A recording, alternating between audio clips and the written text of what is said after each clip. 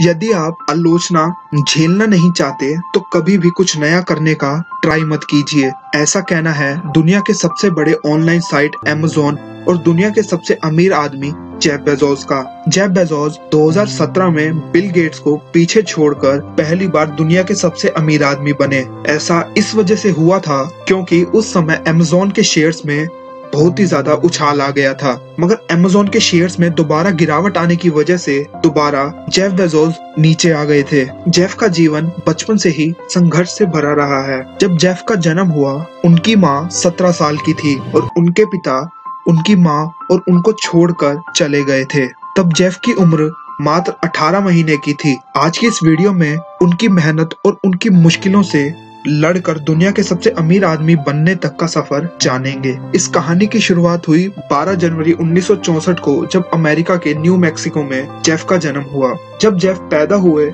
उनकी माँ high school में थी और उनके पिता जॉर्गन्स उन्हें छोड़कर चले गए और उनकी माँ ने करीब ढाई साल तक उन्हें खुद ही संभाला। और जब जेफ चार साल के हुए, तब उनकी माँ ने मैगवल बेजोस नाम के आदमी के साथ शादी की। जेफ ने अपनी शुरुआती education Rivers Oak elementary school में की। उनके परिवार के मयामी शिफ्ट हो जाने के बाद जेफ ने पालमेटो हाई स्कूल से अपनी स्कूलिंग की। स्कूल खत्म होने के बाद जेफ ने प्रिस्टन यूनिवर्सिटी से इलेक्ट्रिकल इंजीनियरिंग और कंप्यूटर साइंस में बैचलर ऑफ़ साइंस की डिग्री ली और 1986 में जेफ ने कंप्यूटर के फ़ील्ड में ही काम करना शुरू कर दिया और उन्नीस सौ बानवे में डी ई शॉ नाम की एक कंपनी में काम करते हुए जेफ मैकेजी से मिले और उन्नीस सौ तिरानवे में उन्होंने शादी कर ली। जेफ और मैकेजी के तीन बेटे हैं और उन्होंने एक लड़की को भी चाइना से अडॉप्ट किया हुआ है। कई सारी कंपनी में काम करने के बाद जेफ ने खुद का बिज़नेस करने की सोची और लोगों की डिमांड को समझते हुए जेफ ने ये देख लिया था कि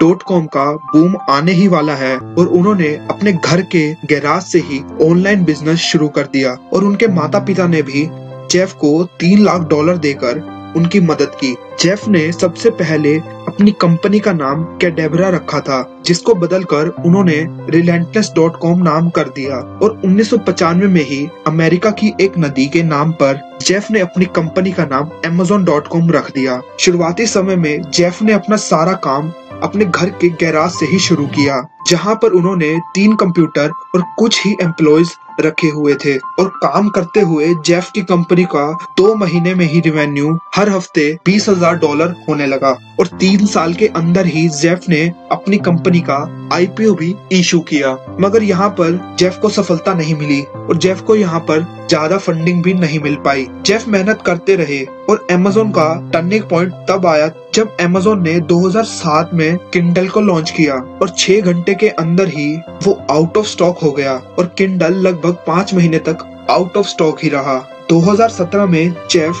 बिल गेट्स को पीछे छोड़कर दुनिया के सबसे अमीर आदमी भी बन गए। जेफ आज इस मुकाम पर है जहाँ तक पहुँचने के लिए लोग सिर्फ़ कल्पना ही कर सकते हैं। ये थी कहानी Amazon.com के सीईओ जेफ बेजोस की। वीडियो अच्छी लगी हो तो वीडियो को लाइक करके चैनल को सब्सक्राइब कर कर ही जाना। और आने वाले समय में आप इस चैनल पर किस तरीके की वीडियो चाहते हैं, ये मुझे कमेंट बॉक्स में ज़रूर बताकर जाना। Thanks for watching see my next video